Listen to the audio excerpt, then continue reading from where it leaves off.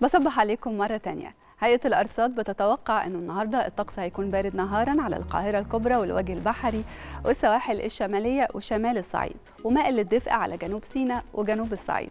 إنما بالليل هيكون شديد البرودة على أغلب الأنحاء.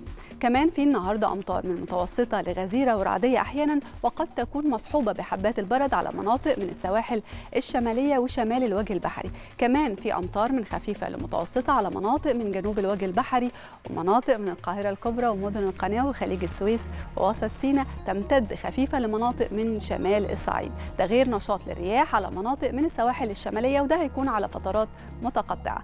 خلونا نعرف تفاصيل أكتر عن حالة الجو النهاردة من الدكتورة منار غانم عضو المركز الإعلامي بهيئة الأرصاد الجوية. صباح الخير يا دكتور.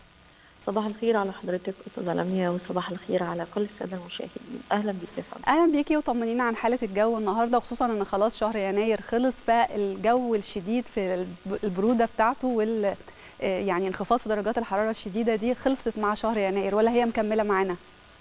هي طبعا لسه مكملة معانا اليوم يمكن طبقا لتوقعات الهيئة العامة للأرصاد الجوية. مستمر معانا اليوم حالة عدم الاستقرار في الاحوال الجوية.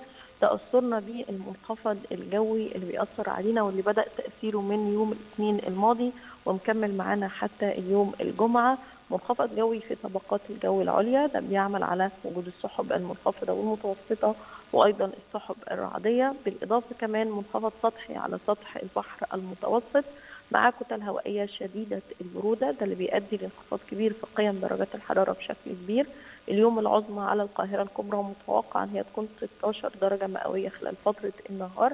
فما زالت الأجواء الشتوية الباردة مؤثرة بشكل كبير في معظم محافظات شمال البلاد اللي هي السواحل الشمالية الوجه البحري القاهرة الكبرى شمال الصعيد. أجواء مائلة للبرودة إلى مائلة للدفء في المناطق الجنوبية جنوب الصعيد وجنوب سيناء. ده بيكون فترة النهار خاصة كمان مع وجود بعض أشعة الشمس. لكن فترات الليل مع الغياب التام لأشعة الشمس ما زالت درجات الحرارة الصغرى منخفضة بشكل كبير أجواء شديدة البروده في معظم محافظات الجمهورية خاصة ده بيكون في ساعات الليل المتأخر وفترات الصباح الباكر.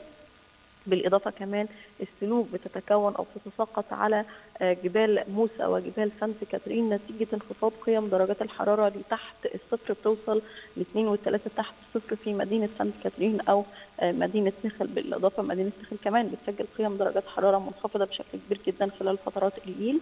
أيضا الصقيع بيتكون على المزروعات الموجودة في وسط سيناء أو شمال الصعيد أو محافظة الوادي الجديد نتيجة انخفاض قيم درجات الحرارة في المناطق دي لأقل من خمس درجات.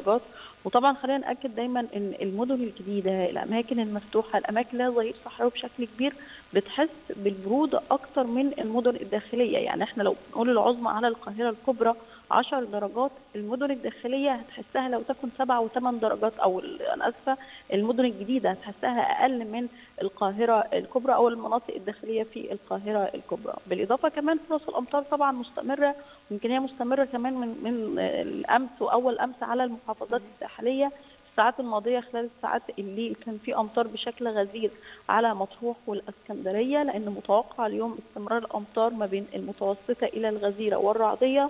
واللي قد يتساقط كمان مع حبات البرد اللي هي الكرات الثلجية اللي بتنزل مع الأمطار على مطروح الإسكندرية البحيرة كفر الشيخ الدقهلية دمياط بورسعيد شمال سيناء. الأمطار هتمتد للمحافظات الداخلية بكميات أقل فتكون أمطار خفيفة إلى متوسطة على مناطق من مدن القناة جنوب الوجه البحري القاهرة الكبرى ما زال فيها فرص لسقوط الأمطار اليوم وتمتد خفيفه لبعض الأماكن كمان من شمال الصعيد. الحمد لله نشاط الرياح بدأ يقل نوعا ما هو نشاط نسبي للرياح في بعض الأماكن. يعني إن شاء الله ده يخلينا نحس إن درجات الحرارة مش منخفضة بالشكل الكبير زي أمس وأول أمس بس طبعا هي قيم درجات الحرارة ما زالت منخفضة. نشاط رياح على بعض الأماكن ممكن يخلينا نحس ببعض البرودة لكن مش في مش في جميع أماكن الجمهورية. ويمكن ده كمان أدى لاعتدال الملاحة البحرية على البحر الأحمر والبحر المتوسط. بس هنخلي بالنا من التعمق داخل البحرين لكن في المجمل البحرين معتدلين مؤهلين لأعمال الصيد والملاحة البحرية. طب الأجواء الشتوية والشديدة البرودة دي مكملة معانا والمنخفض الجوي ده مكمل معانا لحد إمتى؟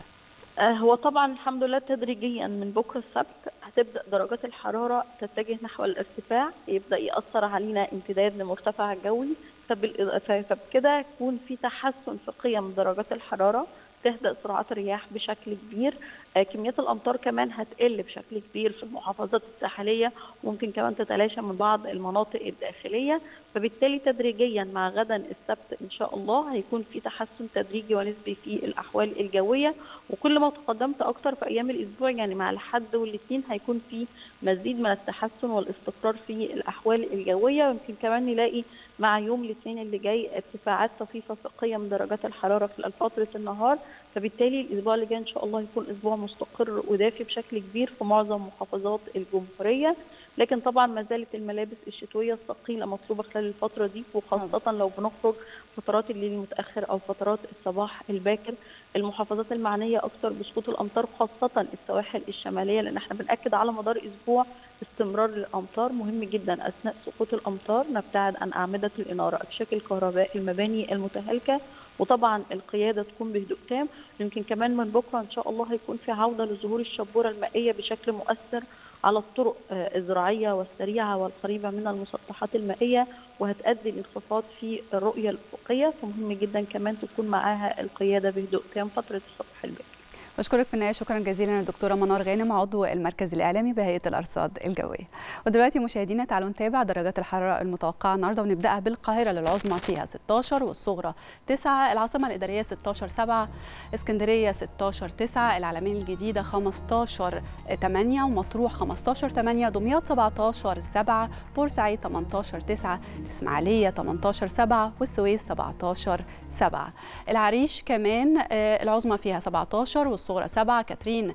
9 3 تحت الصفر. طابة 15 7 حلايب 19 12 شلاتين 20 14 شرم الشيخ 20 12 الغردقة 19 10 الفيوم العظمى فيها 16 والصغرى 7 بني سويف 16 6 الوادي الجديد 18 4 وأسيوط 17 4 سوهاج 17 5 قنا 17 6 الأقصر 18 6 وأخيرا أسوان العظمى فيها 18 والصغرى 8 مشاهدينا دي كانت درجات الحرارة المتوقعة النهارده ودي كمان تعليمات هيئة الأرصاد الجوية. ومرة ثانية نروح لمنى ومحمد نكمل معاهم فقراتنا. شكرا لك يا لمي